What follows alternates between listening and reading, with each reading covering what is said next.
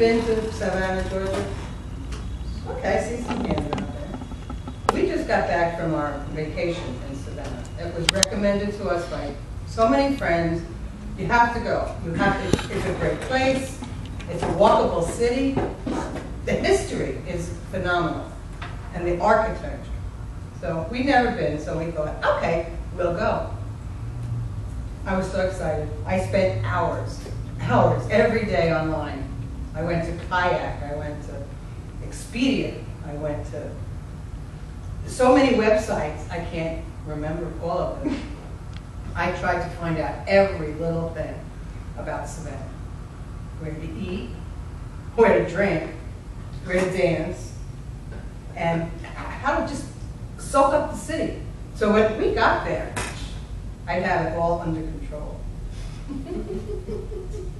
I got to plan. I love planning. We left early Thursday morning for the road trip. Eight hours later, we were in Savannah looking for a place to park.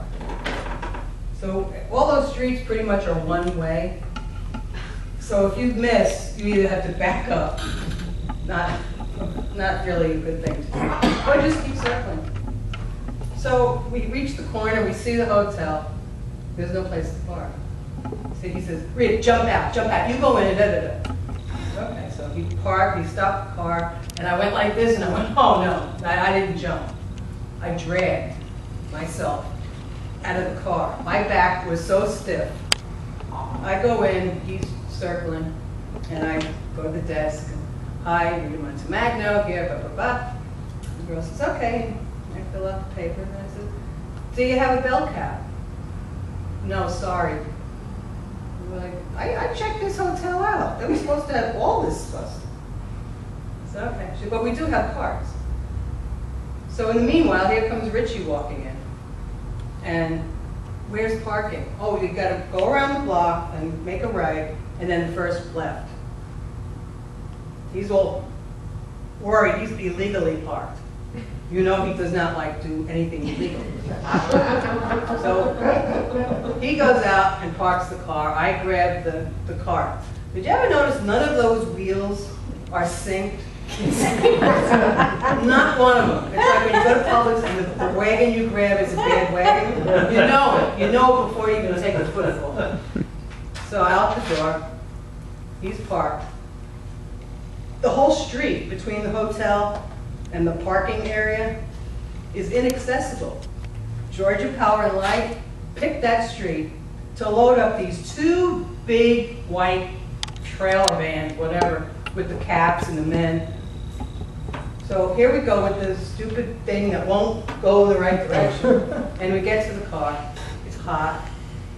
It's hot and it's humid. Worse than, worse than Sarasota.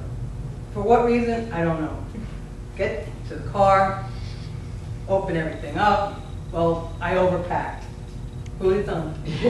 Me? You can never have too many clothes. Not enough is bad. So we load up the thing, hangers. Now, we have to get back to the hotel, so back through the trucks and the median and the lines that they have, the cables, up the concrete, okay, we're back in, get the elevator, second floor, yes, we're almost. Get in, unpack, tripping over each other and the, the cart, finally good. I was like, okay. I'm waiting, I've been waiting for this since quarter to eight this morning, a glass of wine. He packed water, I packed wine. Had that, great, let's go. Get the maps, get the list, and we're gonna do the trek. So walking, walking. Several times I tripped. They're cobblestones. They're not even. You know, they got dips and twists. So I decided I have to spend my time watching my feet. I found 12 cents. Tax-free. It's supposed to be a walkable, pedestrian-friendly city. The streets that do have traffic lights, they only operate on these poles that are 10 feet this way, away from the crosswalk. So you push the thing, and you hurry back up to the crosswalk, and you hear, wait, wait, wait. And you're looking at each other like, there's a little man in there? Now, the, the light turns green. You have 10 seconds. You have nine seconds. You have eight, seven, six seconds to get you across the street. Or it's going to be a red light and, oh well. What's one less visitor to Savannah? There were tours. We took the trolley tour and, you know, they all have the same shtick. You can hear it after you've taken yours. Everybody's the same. Telling you about the buildings and the freaks of the feats of the buildings with fishes on them and get off. And it's like, wow. Now look at all these horse-drawn carriages. There must have been a fleet of 2,000, at least. Beautiful, beautiful. And then I realized, as we're walking, the, the heat and the humidity that was like horrible, horrible, horrible. I figured out the difference. Heat, humidity, and horse drop. Sister, okay.